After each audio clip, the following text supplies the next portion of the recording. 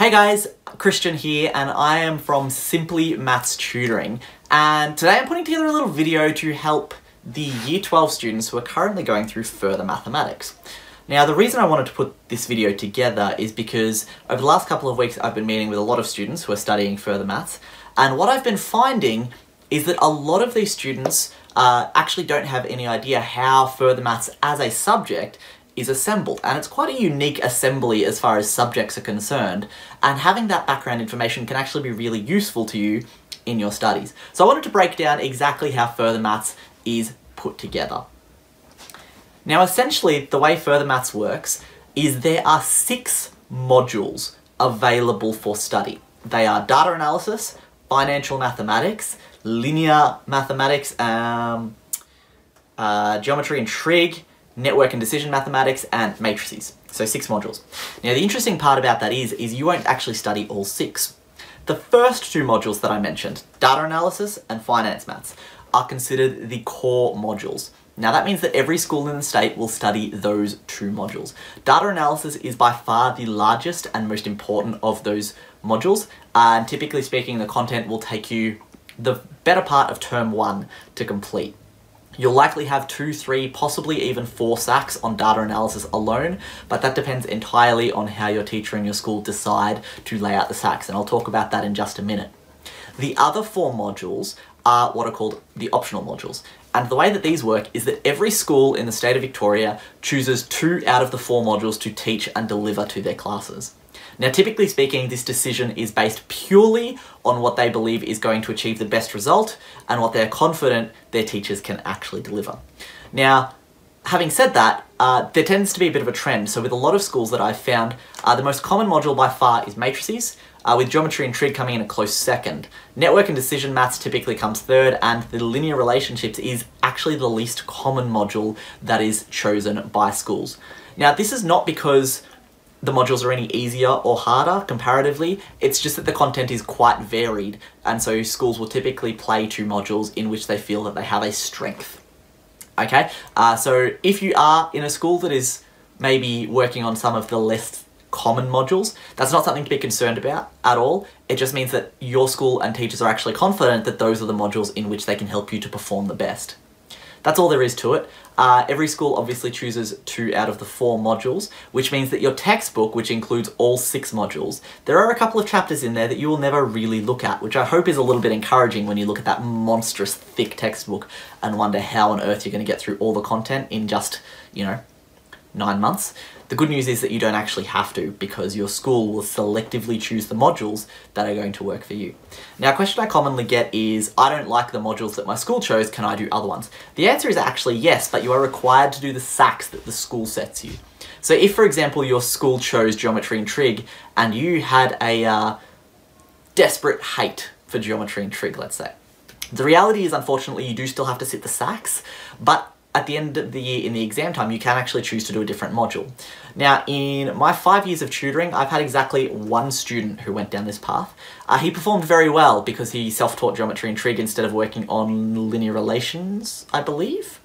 But however that tends to work out, uh, he was actually very dedicated and very motivated to take on extra time outside of class to learn a completely new module because he felt passionately that he would be able to perform better. It is a rare situation, but technically it is an option available to you. So if that's something that you wanted to pursue, I would advise maybe looking into getting a tutor or some outside help to help you speed that process along. So that pretty much sums up how the actual topics are worked out. Now, as far as the SACs and exams are concerned, I just want to give a quick warning any information that I give about SACs is, is very general, and that is because uh, schools actually choose how they deliver their own SACs. So all I can give you in this video is a brief estimate of what I believe the SACs will look like, and that is based on the experience that I've had with past Year 12 students. But for a full outline of how your SACs are going to be laid out, it is best to talk to your maths teacher. Now having said that, the pattern that I've seen throughout my working with students in further maths tends to be something like this. Typically speaking, I see uh, roughly three SACs on the data analysis component, uh, one SAC, maybe two on the finance component, and one SAC specifically on the each of the optional modules.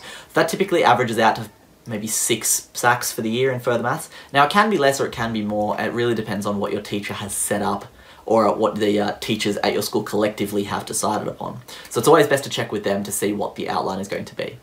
Now the exam, on the other hand, is something that I can give you a great amount of detail on because that does not change across the state. So at the end of the year for further maths, you will have two exams.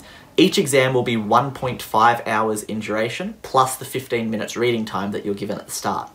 The first exam will be entirely multiple choice questions and will consist of all six available modules, which means within the exam you actually choose the sections you complete based on the modules that you learnt throughout the year. So there will be two modules that you leave completely blank, and that is how the exam is actually designed.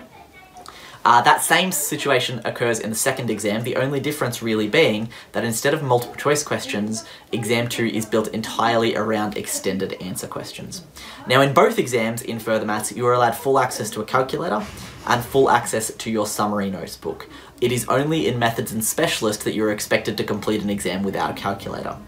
So that's actually really important and it brings me to my final piece of advice for today's video uh, for further math students, and that is this.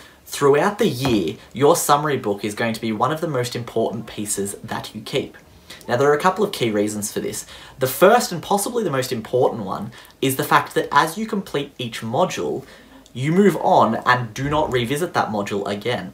Modules do not interact with each other in further maths. They are all very sub segregated, which means that once you're done with data analysis, you have no reason in class to look at data analysis again, which means it's entirely up to you to be able to revise and keep on top of current content.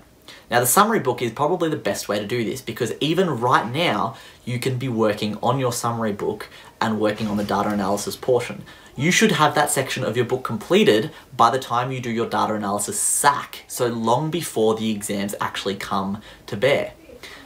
What's really important here is that you don't fall behind with a summary book because there is nothing worse than trying to cram on a summary book, especially on a topic that you haven't seen in the last six months. I see it all the time as we get towards the end of the year. If I visit a student who hasn't worked on their summary book yet, they're trying to remember things from data analysis which was studied six months back and they've just got no idea what's going on.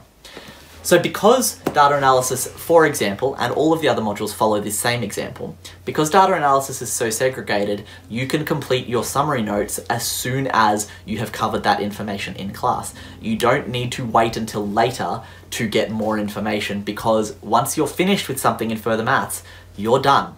There's nothing else that you need to cover. You'll be straight on to the next topic, which will likely have nothing to do with the previous one. Uh, it's a very, very separate, there is no cross interaction, which gives you both an advantage and a disadvantage. Disadvantage being that you have no uh, reason to study it unless you're self-motivating, but on the plus side, it means that you can have your summary notes completed the day that the course content is completed, which is my piece of advice to you as further math students. So I hope this video has been really helpful and clears up a couple of the questions that you have about the subject that you've been working on for the last couple of months. If you do have any more questions, please feel free to reach out to me. You can either hit me up with an email, give me a phone call, or message me on Facebook. I love hearing from you guys and hearing about some of the questions you have and some of the things that you have to say. So if you have any questions about further maths, please feel free to get in touch with me. I'd love to hear from you. I hope this video has been really helpful for you. My name is Christian and I will catch up with you later. Bye for now.